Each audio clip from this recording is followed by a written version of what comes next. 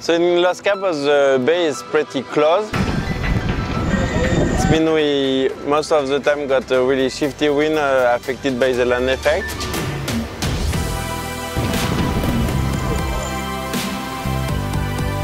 Could be really light and shifty and like for the last couple of days we had really good sea breeze up to 20, 20 something knots so was really good condition so far.